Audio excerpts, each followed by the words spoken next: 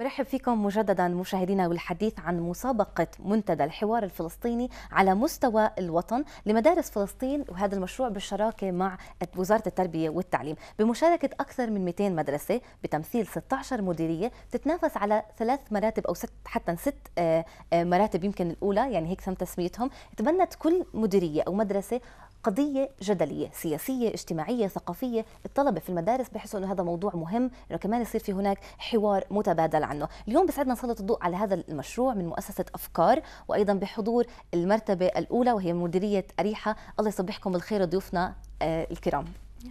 صباح النور. رح تكون معنا اليوم ياسمين نجوم هي من مدرسة بنات العوجة الثانوية في التابعة لمديرية أريحة. وأيضا الأستاذ عودة زهران مدير عام مؤسسة أفكار. أهلا وسهلا بكم. أهلا بيكي.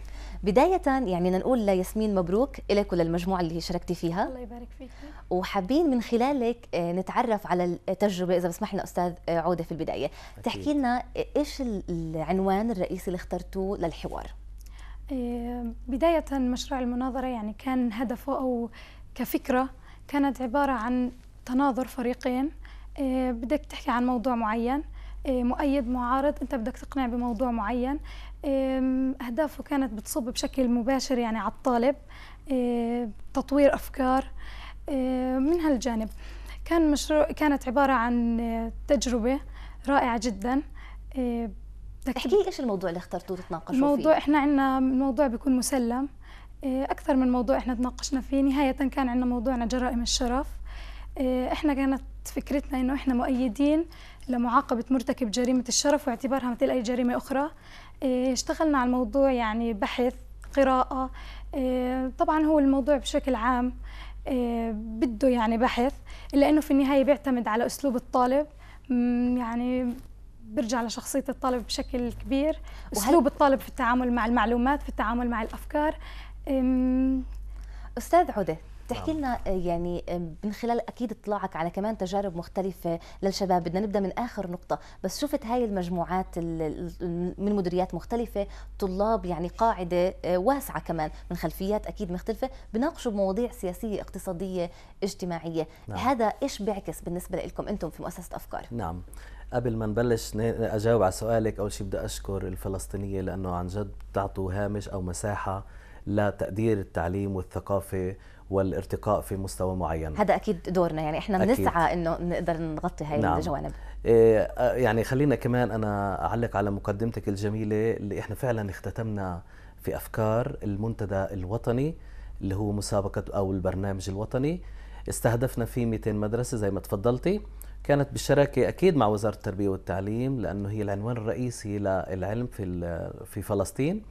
وكمان أيضا بدعم المؤسسة الألمانية اللي هي روزا لوكسمبورغ استهدفنا المديريات ال 16 وبالتالي من أجل إنه نطلع بالمرتبة الأولى والثانية والثالثة وكمان صار في استكمال للرابعه وخامسة سادسه مديرية أريحة ممثلة بياسمين فازت أو حازت على المرتبة الأولى على موضوع زي ما قالت اللي هي موضوع جرائم الشرف. قديش إحنا في المجتمعات العربية والفلسطين طبعا جزء من المجتمعات العربية. قديش إحنا بننظر وبنتعامل مع هيك قضية رئيسية؟ لو توصف لنا يعني لو توصف لنا كيف كان نعم. هل كان بيناظروا قدامكم أو كان كل شخص بيختار وبيعرض ورقة؟ يعني عشان نكون عارفين تفاصيل أكثر. نعم. في الواقع المنتدى الحوار الوطني هو إيه، زي ما تقولي نسخة متطورة عن المنتدى الحوار اللي هو كان بس يكون في في المديريات. كانت كل مديرية تشتغل بمدارس المديريات ذكور مقابل إناث على موضوع معين. وبالتالي كان يخرج في نتائج معينة. المنتدى الوطني يختلف. المنتدى الوطني على المشرف مشرف التربية إنه يحضر طلاب ويكون في تصفيات في المديرية. يعني إحنا بنشتغل في كل مديرية مع عشر مدارس وصار في تصفيات داخلية وأنتجنا مدرسة اللي هي مدرسة اللي ياسمين بتمثلها.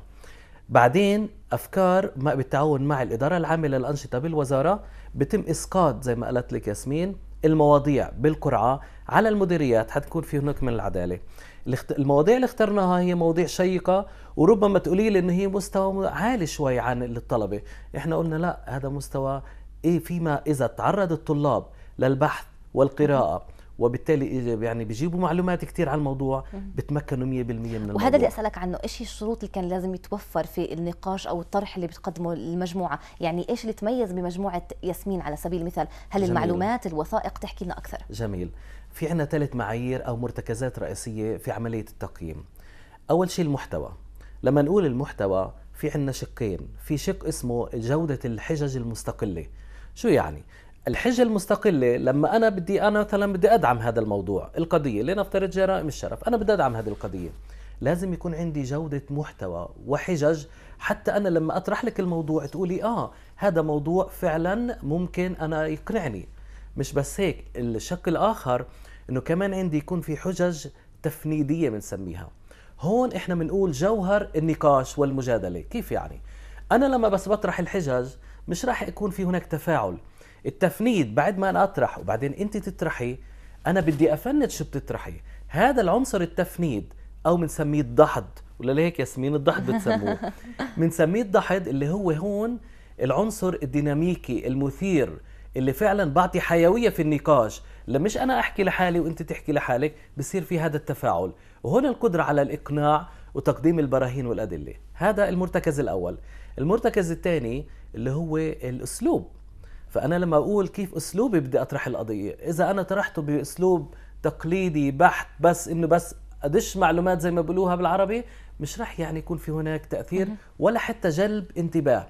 فالأسلوب مهم جدا. العرض البصري العرض المرئي بعرفش أنت لازم كمان ياسمين هذا اللي أسألك عنه يعني هو نعم. عم بيحكي عن نقاط يعني بنشعر إن هي محتاجة لوقت ولجهد ولمصادر آه، معلومات. قديش أخذ منكم وقت؟ وين كنتوا تدوروا؟ آه، بس كنتوا تعتمدوا على الإنترنت أو على مصادر ثانية إيه، كنا الموضوع بداية أنا أول ما كان الموضوع ينطرح كنت الموضوع أتخيله فكريا يعني أتعامل مع الموضوع قبل ما أنا أبحث عنه. مدى قناعتي في الموضوع يعني أبني موقف للموضوع بداية. بعدين ببدأ عملية البحث. البحث عبارة عن قراءة أو اطلاع على الموضوع أنا بعتبرها. إيه، البحث بده يعني أنا بدي أدلة بدي حجج فقط. بدي دليل على صدق كلامي أو أنا بدي أصدق كلامي بدي دليل. أما بعتبر إنه فكرة إنه أبحث أنا عن الحجة لا أنا بعتبر إنه خلق الفكرة أو خلق الحجة هو الأفضل.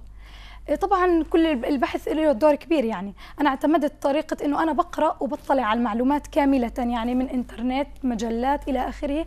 لكن في النهاية أنا بجمل موقفي وفكرتي وبطرح الموضوع بطريقتي الخاصة. وكان هل كان في توزيع ممتاز. بين بينكم ب- كان توزيع مهام بين المجموعه الفريق هل إيه طبعا كلنا كنا نعمل طبعا بفريق كامل. إيه خاصة الفريق اللي معي كنا متعاونين جدا. إيه يعني بعت- نتائج واضحه أنا بعتبر إنه تعاون الفريق كان له دور كبير في النجاح إيه كان في تفاهم كان عندنا خلفية ثقافية ممتازة جدا بعتبرها يعني من أهم الأسس اللي يعني كان عندنا. فرصة رائعة كمان إنه نسمع من ياسمين ولكن كمان كان في فرق ومواضيع أخرى طرحت على إيش ركزتوا كمان محاور أخرى أستاذ عودة؟ ركزنا على ثمان قضايا رئيسية تخص العالم العربي بالواقع مثال على ذلك أنه العولمة تقتل الثقافات المحلية هل أنت مع هذا الموضوع أو ضد هذا الموضوع؟ في كمان مواضيع تانية اللي هي مثلا الدكتاتورية القوية أفضل من الديمقراطية الضعيفة. أنا بدي أدعم هذا الموضوع ومثلا رند بدها تدحض هذا الموضوع قلت لي لا هذا مش هيك الموضوع. بالتالي هذه مواضيع فعلا هي ساخنة وكبيرة حتى على مستوى الطلبة بالصف 11 بس النتيجة كانت بالنسبة لنا يعني فاقت التوقعات. إحنا قلنا إنه راح يكون في هناك يعني محاججة ومناظرة ضعيفة نسبيا لأنه الموضوع بحكم هنا. بس بالواقع كانت مواضيع كتير جيدة وشيقة جدا. هذا دليل قد إيه إحنا نعم. عندنا طاقات يعني موجودة ودقات كامنة موجودة في طلابنا وفي جيلنا نعم. إحنا وبدنا كمان مين يسلط الضوء عليها. وهي يعني واحدة من الإيجابيات هذا المشروع. بدي أسألك يعني كمان بكل صدق إيش كمان كان في أشياء اللي ممكن أنتم حسيتوا إنه والله يعني وبالتعاون مع وزارة التربية والتعليم إنه لا إحنا هذا الحكي المفروض كمان إحنا نتعلمه في المدرسة نعم. من المفترض إنه كمان هذا الشيء يخلينا نرجع للمادة نبحث عن مصادر ومعلومات إنه أنا بتذكر وقت الجامعة كان يعني وقت المدرسة كانوا يطلبوا منا آه، بحث صار الإنترنت كمان بيسهل علينا حياتنا بدون ما نعم. نرجع لمعلومة موثقة قديش المشروع كشف عن ضعف في محلات مختلفة أو ممكن يكون لا بدي أسمع منك نعم. بس بصدق سؤال جميل جدا وأنا دائما بكون صادق معك شوفي إحنا أصلا مبرر وجودنا كأفكار هي إحداث اختراق في النمط التقليدي وأنا بقول تقليدي في عملية كيف نعطي المواد. أنا الموضوع إنه أنا مش بس بدي معلومات أنا بدي كيف أوظف هذه المعلومات هذا المهم عندنا كمان. فأفكار بتوفر فرصة للطلاب للبحث للاستخدام الفعال للأسلوب ال- العلمي. مش بس هيك كمان في هناك مهارات عند الطلاب اللي هي مهارة التفكير العليا. أو تحديدا التفكير التحليلي والناقد. أنا أنت بتقولي لي شغلة. طب أنا بدي أحلل هل هذه الشغلة فعلا مناسبة مش مناسبة دقيقة غير دقيقة؟ هذه تقنيات اللي بأفكار إحنا بنحاول نعممها على طلاب المدارس. هذا هو الموضوع. هلأ التعاون مع الوزاره حقيقة تعاون عالي جدا وبالتالي هون بنوجه له تحيه صحيح الإدارة العامة للأنشطة تحديدا الأخت إلهام المحيسن. بتعطينا فرصة كبيرة وزي ما تقولي مفتوحة على اعتبار ندخل كل المدارس. في إحداث التطوير النوعي في عملية التعلم. المشروع تبعنا رند مش بس فقط إنه والله نشاط ومشي هو حالة تعلمية. حالة تعلمية طالب ياسمين بتعيشها من أول الفصل لنهاية الفصل. فهي بتقول لك إنه إحنا على مدار فصلين كاملين عشنا التجربة عشنا هذا اللي بدنا إياه. إنه مش بس فقط أسلوب تذكري زي ما إحنا بالمدارس تعلمنا وللأسف ما, ما زال يمارس هذا النظام التقليدي. محاولة منا ومحاولة منكم محاولة من الجميع. بنحاول أكيد. نطلع من هذا خلينا أقول الإطار التقليدي ونعطي هناك إضاءات وهذه الإضاءات من أصلا تجلياتها صارت في منتدى الحوار الوطني الفلسطيني. ياسمين نسمع قديش كمان هذا الحكي انطبق عليكي فعلا من تجربتك الشخصية. يعني أنتم كنتوا مجموعة ولكن أنت ياسمين من خلال آه، عملك بهذا الحوار هلا إذا بتفكري تطرحي موضوع في المدرسة أو موضوع جديد رح تفكري بأشياء تعلمتيها؟ وإيش أهم الأشياء؟ إيه، بداية أول ما بدينا في المشروع كانت كفكرة يعني كيف انبنت على تطور مرة على مرة صار تطور أكثر. في البداية كنا الموضوع نتعامل معه بشكل يعني كل مرة كانت أسلوب البحث يتطور بشكل أكبر أسلوب العرض يتطور بشكل أكبر. فأنا بتوقع يعني بعد ما وصلت لهالمرحلة بتوقع إنه أنا الحمد لله يعني عندي قدرة إني أي موضوع بقدر أتعامل معه في طريقتي يعني ممتاز جدا يعني. والمشروع كان جدا جدا رائع مش مش مجرد يعني مشروع إنه أنت تتعاملي معه عادي. لا بالعكس كان تطوير أفكار كان يعني أنا بعتقد إنه العمل على الفكرة يعني أو خلق الفكرة هو أهم شيء يعني في مصلحة الطالب. يعني قديش كمان أنت سعيدة أنه المشاريع هاي أو الأفكار هاي من خلال برنامج أفكار بتوصل كمان لمدرسة آه، بنات العوجة الثانوية اللي لربما متعارف أنه هي ممكن تكون هاي المناطق أقل حظا بهاي المشاريع؟ نعم بالضبط. ممتاز جدا أنه المشروع قائم على يعني بشكل أوسع واسع جدا ووصل للجميع. آه، في بداية أنا ما كنت أتوقع يعني أنه كإحنا يعني كفريق من قرية يعني يوصل للمرتبة الأولى لكن في النهاية يعني دليل على إنه الجهود إنه قد ما أنت بتبذل مجهود إنه في النهاية بدك توصل إيه، كان ممتاز جدا يعني يعني جد يعني فخورين فيكم وأكيد مبسوطين كمان عندكم آه، نلتوا المرتبة الأولى نعم. وأكيد يعني هذا بالعكس أنتم عندكم طاقات رائعة يعني نعم. والمشروع كشف كشف عنها نعم. تحكي لنا عن المناطق اللي بتستهدفوها أستاذ عودة في هذا المشروع نعم إحنا زي ما حكيت في البداية بالمشروع الوطني بنستهدف 16 مديرية اللي هي على ال 11 محافظة. بما فيها طبعا القدس بنستهدف المدارس اللي زي ما تفضلتي الأقل حظا. بالتالي حتى يكون التعميم التجربة فعلا لما نقول وطني يكون شامل الكل. السنة انطلقنا من 160 ل 200 مدرسة وفي كمان عندنا برامج أخرى كمان غير عن الوطني اللي بنسميه المرحلة التمهيدية. المرحلة التمهيدية مع المشروع الوطني التنين بنهدف لتنمية قدرات الطالب وتفاعله مع القضايا كمان المجتمعية. مش يصفي يروح على الجامعة وهو عايش حالة اغتراب ما بين إيش هو عاش في المدرسة وما بين الجامعة وحتى قضايا المجتمع. وبالتالي انطلقنا ل 200 مدرسة وصار في تصفيات. خليني بس أنوه شغلة على بالنسبة للفائز الأول. مزبوط يا مديريه أريحة فازت بالمرتبة الأولى جنوب الخليل بالمرتبة الثانية وبيت لحم بالمرتبة الثالثة. بس إحنا كمان في عنا مديرية رام الله الرابعة والخامسة قلقيليه والسادسة طول كرم من الست مديريات رح يتشكل فريق وطني لما بيكون في عنا مناظرات على المستوى الإقليمية الإقليمي عفوا راح يكون جزء من الست مديريات حتى يكون في هناك عدل كمان أو توزيع معين محاولة ليكون في هناك إعطاء فرص للجميع.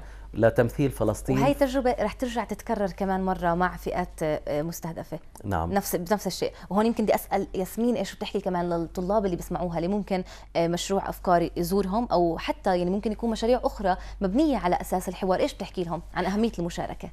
المشاركة رائعة جدا.